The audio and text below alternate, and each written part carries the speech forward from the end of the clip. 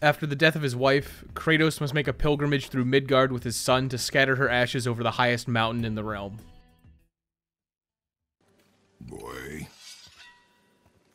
Not dead, not dead. The easiest thing to say about God of War is despite all the perceived changes, it's still a God of War game and comes with all the baggage that that entails. It's fundamentally the same in terms of combat, puzzles, excessive violence, and gore.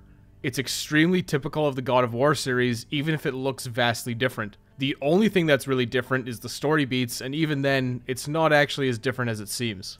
Combat has reasonable depth, but it's very much an opt-in style. Your initial combat options are fairly interesting. While you do have a skill tree to unlock new abilities, you won't need any of them, as the game is simple enough to complete with just your core moveset, and many of the upgrades seem superfluous at best. A few upgrades are extremely worthwhile, however, and oddly enough, mostly for your child, Atreus. Atreus has some very useful applications in combat. He's mostly just AI controlled, but you can tell him to fire arrows with square. You'll need to do this against several of the more robust enemy types, but you can also use them effectively to create space for Kratos, or distract enemies with large shields to expose their backs. Your Leviathan axe doubles as a ranged weapon and can be thrown and recalled at will. While your axe is thrown or sheathed, you'll switch to a hybrid shield and fist style which deals a lot of stun damage. Stun damage has replaced the standard quick kills, and once stun is built up, it's used for grabs and executes. If you choose to go bare-fisted, you'll build up stun and you can use the powerful grappling moves. If you stick with one of your other weapons, you'll be able to use the runic abilities associated with them. The runic abilities are interesting and varied and can be customized. You can have one light and one heavy runic attack which functions as a super move which can be used after a cooldown period. While there is reasonable diversity in your choices for runic abilities, you'll likely find one that you like and stick with it for the rest of the game. Certain enemies will also be color coded and be immune to certain elemental damage, which is generally a mechanic I dislike. You do have three combat options throughout the majority of God of War, so even if one is rendered useless against a certain enemy, you still have two alternatives at your disposal. There are RPG and character building elements in God of War, but it does feel pretty unimpactful. The gear choices don't really feel important overall, and through the main story, there will be a few standouts. Doing a few optional objectives early on will net you gear that will last you for the majority of the game, with the only real upgrades becoming available as post game content or from the optional realms that you can unlock. The puzzles are very typical God of War. They're quite basic, usually requiring you to freeze something with a Leviathan axe throw or, or, shuffle some things around in the environment. They're mostly enjoyable to complete, but a few are timed or are too precise, which makes them a little more annoying than they needed to be.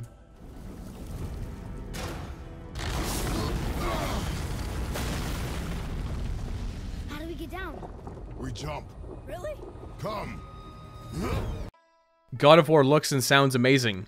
Everything is top notch. The enemy designs are interesting and fun. The kills are brutal and satisfying. The set pieces are all fun and huge in scale. Again, it's typical God of War fare. A lot of your runic attacks and Atreus' arrows also look extremely flashy. So flashy that the game crashed a few times on a standard PS4 when too much was going on. The on-screen text is extremely small. It makes it really hard to read the tutorials that come up in the beginning of the game, and especially when you're looking at ability names and descriptions in your equipment and upgrade menus. It's just far too small, and there's no justifiable reason for it as there's no shortage of space in these sections. The accessibility features that allow you to simply hold a button instead of having to mash is a very welcome addition. It just perplexes me as to why this isn't on by default. Chalk it up to being a series staple that was left in. I would strongly recommend turning it on as soon as you can. All the voice acting is also excellent. The supporting cast especially is very well done. There are some really good interactions between Atreus and Kratos. Of course, Atreus is a child and does act like a child. During certain sections of the game, he'll completely disregard your orders and give you sassy backtalk. It feels natural for a child, but these sections can get a little annoying. They don't last very long, though. Let me guess. Your brother isn't as talented as you, and his work is junk. Um, those things are accurate. Your point? It's all you ever talk about, over and over. Do something about it or shut up already. If you're familiar with God of War, you know God of War 3 was the end of Kratos' story, and it most definitely had a clear-cut ending. God of War is a direct sequel to 3 and does reference the previous events of the series. It does retcon some events of the series in order to take place, as well as glosses over how and why Kratos arrives in Midgard. The overall story is reasonable, but often feels a bit too classic God of War for the more mature themes the game is trying to present. Several events happen that simply should have and could have been avoided, but feel forced by the writing to make it all work. There are a few reveals that will be extremely obvious if you have even passing familiarity with the Norse mythology, and the finale is obviously there as an excuse to set up at least one more God of War game. What'd you find? Enough distraction.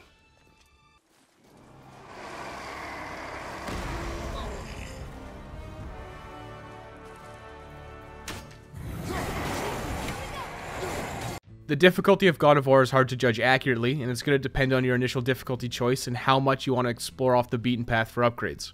The normal difficulty represents a challenge that starts reasonably difficult but ends up being quite easy towards the end of the story. The harder difficulties will be in a similar situation, but numbers are bloated and a single mistake may force you to restart a whole battle. There are a lot of aspects of the combat that make it more difficult than it should be.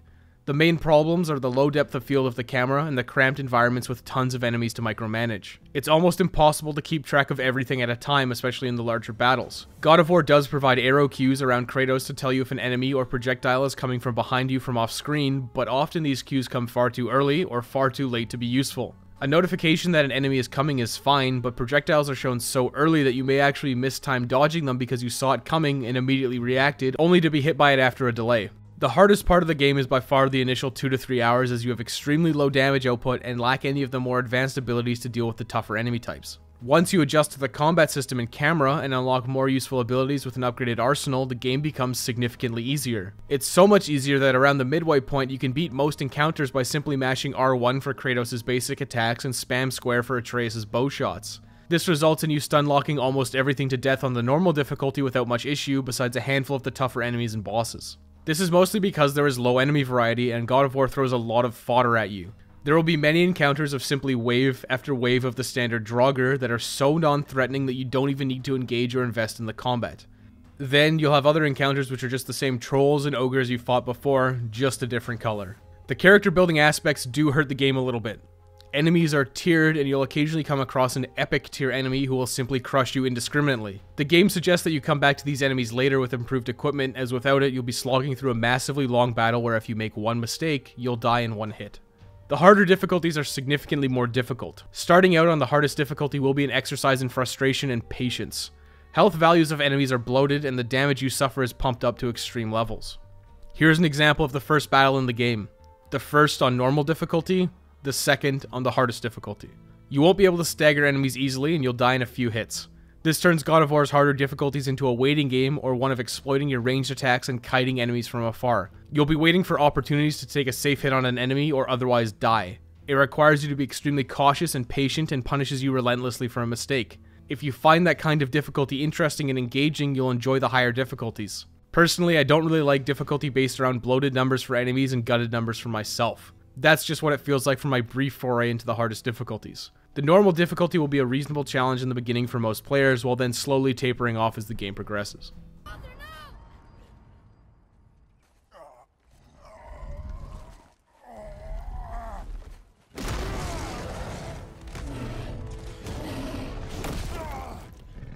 God of War would like you to believe it's an open world game, but it's actually extremely linear, with a handful of optional areas you can choose to explore off the beaten path at various points. These optional areas are gated by main story progression despite there being a very prominent hub area.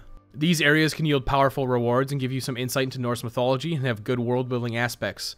Unfortunately, they may also just yield rewards that are useless to you, and significantly weaker than what you currently have depending on the order that you do them. Doing a quest on one side of the lake hub yielded an extremely powerful grip and wrist armor I used for the entirety of the game, and then the other side yielded a worse grip and armor that you had to upgrade to even be competitive to the starting one.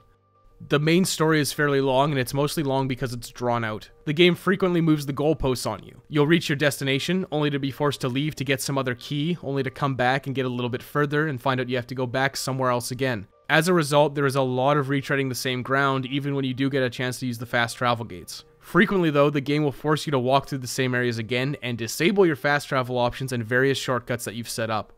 It's a very annoying and obnoxious thing to deal with.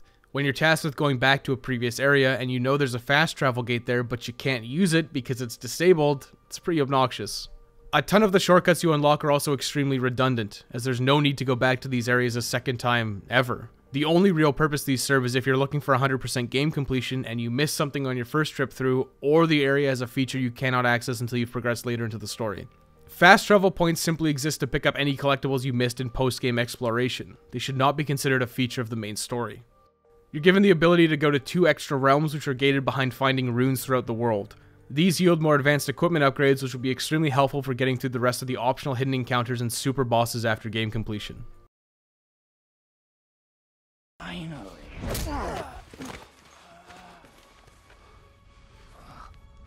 You would not listen. At recommended playing, games either are ascended to the pantheon of games worthy of your time with a recommendation, or are forced to wallow in the miserable muck of mediocrity with a dismissal. God of War is exactly what you're going to expect from the series. Despite a different perspective and story focus, it absolutely is a God of War game. If you weren't a fan of God of War, this probably won't change your mind. If you were a fan, it's more of the same, but does feature some more mature themes and story elements, and combat is slightly altered. It has amazing production values across the board, it's more than competent in everything that it does. The harder difficulty levels and optional content will provide additional hours to an already robust game if you desire more from it. The few issues that exist and were mentioned in this review should be considered minor grievances rather than fundamental problems, and the overall experience is very, very good. God of War gets recommended playing's most prestigious verdict of recommended.